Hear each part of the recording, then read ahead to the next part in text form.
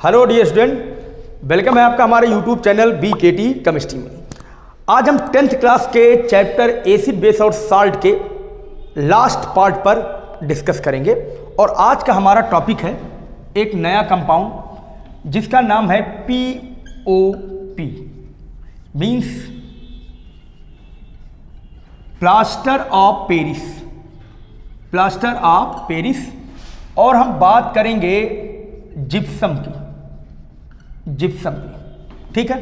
देख बेटा, एक कंपाउंड होता है कैल्शियम सल्फेट और dihydrate 2H2 this is the formula of gypsum this is the formula of gypsum अगर मैं इसको 371 कैल्विन पर हीट कर दूँ तो ये बनाएगा C A S O four in two one by two H two O इसको बोलते हैं हाफ़। और इसका नाम होगा कैल्शियम सल्फेट। और वन बाई टू को बोलते हैं हेमी। हेमी माने आधा। Hydrate. Hydrate means water this is the formula of P O P plaster of Paris मतलब हम प्लास्टर ऑफ़ पेरिस से क्या बनाते हैं? सॉरी हम जिप्सम से क्या बनाएँगे? प्लास्टर ऑफ़ पेरिस और सुनो। अगर मैं टेम्परेचर चेंज कर दूँ तो हम पीओपी से फिर क्या बना सकते हैं? जिप्सम जिप्सम से पीओपी और पीओपी से क्या बोलो? जिप्सम अच्छा आइए जानते हैं कि जिप्सम और पीओपी है क्या। देख बेटा जिप्सम वो सबिस्टेंस होता है जो सीमेंट में मिलता है। जो वो सीमेंट में मिलता है। क्या करता है? सीमेंट में मिलकर उसको मजबूती देता है। दरअसल दो ईंटें रखो और सीमेंट लगाओ, जुड़ जाएगा। वो कमाल किसका होता है? जिप्सम का। जिप्सम की ही कंटेंट सीमेंट को मज़बूत बनाती है। तो सीमेंट इंडस्ट्री में हाई क्वालिटी में हम किसका यूज़ करते हैं? जिप्सम का। अच्छा पीओपी क्या है? पीओपी एक बड़ी आइडियल चीज़ है। इसके कई यूज़ हैं। पहला बेनिफिट अगर चोट लगे और हमारी कोई बोन क्रेक हो जाए तो आप देखिए डॉक्टर प्लास्टर चाहते हैं मज़बूत मज़बूत व्हाइट कलर का। दरअसल वो प्लास्टर आप पेरिसी होता है। पॉइंट नंबर टू कुछ सफ़ेद कलर की मूर्तियाँ बनती हैं, जिनके ऊपर अलग अलग पेंट करते हैं।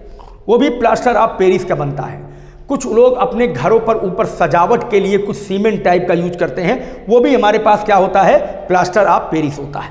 तो हम जिप्सम से प्लास्टर ऑफ़ पेरिस और प्लास्टर ऑफ़ पेरिस से क्या बना सकते हैं? जिप्सम। ठीक है?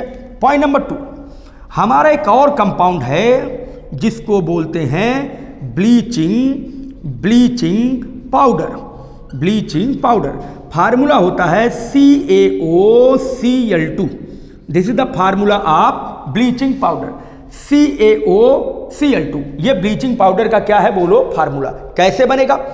अगर मैं स्लैड लाइम ले लूँ, इसके बारे में बता चुका हूँ आपको. सी ए ओ एच का होल ट्वाइज और इसका रिएक्शन मैं Cl2 से करा दूँ Cl2 से। स्लैग डराइन रिएक्ट विथ Cl2 ये बनाएगा बेटा CaOCl2 एक। ठीक है? एक तो बन गया CaOCl2 साथ में बनेगा वाटर मालिक्यूल मतलब क्या बोलो? H2O आइए चेक करें और क्या बनता है। यहाँ पर दो बार हाइड्रोजन दो बार oxygen C A O O H H और सी एल सी एल कितनी बार बोलो? दो बार। तो एक तो बन गया सी A O C L to और एक बन गया, क्या बोलो? एच टू ओ तो आई होप एल टू के बाद केवल क्या बचा बोलो? एच टू ओ इस तरीके से आप रिएक्शन को ब्रीफ करके ये चेक कर सकते हैं कि हमारा बनने वाला प्रोडक्ट वही है कि इसमें कुछ और बन रहा कैसे चेक करेंगे? आप ओपन कर लो। आप इसको ओपन कर लिया करो। यस लिखो चार बार ओ लिख दो। लोअर क्लासेस में हमारा ये एम होना चाहिए कि अगर आपको उधर चेक करना तो ओपन करके आप सेपरेटली लिख लो। और फिर देखो जितने मालिक्यूल इधर हैं, उतने उधर भी हैं। इसका मतलब आपका रिएक्शन क्या है बोलो? बैलेंस अच्छा ब्लीचिंग पाउडर के अगर बेटा मैं यूज़ पर आऊँ तो इसका सबसे बड़ा यूज़ होता है वाटर को क्लीन करने में। बड़ी बड़ी पानी की टंकी जो गंदी हो जाती है, उसमें ब्लीचिंग पाउडर डालने पर वो गंदगी को काट के नीचे बैठा देता है या धीरे धीरे इम्प्योरिटी बैक्टीरिया को वो किल कर देता है। तो मेन ब्लीचिंग पाउडर का वर्क होता है बैक्टीरिया को वाटर से क्लीन करने के लिए। ब्लीचिंग पाउडर की छोटी छोटी गोलियाँ आती हैं। अगर आप उसको गंदे पानी में डाल दो तो आप आधे घंटे बाद देखोगे कि नीचे सारी डस्ट जो है, वो ब्लैक कलर से डिपॉजिट हो जाएगी, ऊपर आपको पानी प्योर दिखेगा। मतलब bleaching powder is helpful for purification of water. तो ये दोनों हमारे सामने एक बड़े अच्छे कंपाउंड थे। अच्छा अब एक नई बात बताने वाला हूँ। हमारे बुक के लास्ट में एक एक्टिविटी दी गई है। लास्ट में एक एक्टिविटी दी गई है। और उस एक्टिविटी में क्या बताया गया है? आइए जानते हैं। उसमें थोड़ा वाटर के क्रिस्टलाइजेशन के बारे में बताया गया है। क्या है वाटर का क्रिस्टलाइजेशन जानते हैं। देख बेटा एक्सपेरिमेंट में क्या किए हैं? एक हमारे पास, एक हमारे पास बर्नर है। इस तरीके से। बर्नर का मतलब आप मेरे पहले वीडियो को देखिएगा, मैंने बताया है उसमें। बर्नर का मतलब जिससे हम किसी को हीट करते हैं। और ये हमारे पास एक टेस्ट ट्यूब है ऐसी। इस तरीके से। और इसको मैंने होल्डर से पकड़ रखा है, यहाँ पर। ठीक है? और टेस्ट ट्यूब के अंदर हमने क्या डिपॉजिट किया है? यहाँ हमने भर दिया है copper sulphate. C U S O four वो भी ड्राई ड्राई, सूखा हुआ।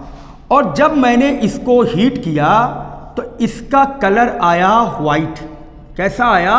वाइट दरअसल आपको बताऊँ कॉपर का कलर ब्लू होता है, लेकिन वो क्रिस्टलाइन फॉर्म में होता है, जब उसमें वाटर के कुछ क्रिस्टल मौजूद हों। जैसे, पानी हमको मीठा तब लगेगा जब उसमें चीनी के कुछ क्रिस्टल मौजूद हों। नमक हमको नमकीन तब लगेगा जब उसमें साल्ट के कुछ क्रिस्टल क्या हो, बोलो, मौजूद हो। ऐसे बेटा देखो, जब ये ड्राई था तो वाइट कलर था। अब मैंने क्या किया, यहाँ से कुछ बूंद पानी इसमें डाल दिया और इसको हमने मॉइस्ट कर दिया, कॉपर सल्फेट भीग गया। फिर जब हम हीट करेंगे तो इसका कलर कैसा दिखेगा? ब्लू दिखेगा। मतलब कॉपर सल्फेट बिना पानी के, एनहाइड्रस कंडीशन में व्हाइट दिख रहा था। हाइड्रस कंडीशन में वाटर दिख रहा है। और इसको ऐसा लिखते हैं, copper sulphate into five S two into five S two का मतलब होता है कि पानी के कितने क्रिस्टल हैं? पाँच। और इसका कलर कैसा होगा? ब्लू होगा। और अगर मैं इसको हीट कर दूँ तो सारा वाटर वेपर बनकर कहाँ उड़ जाएगा? ऊपर।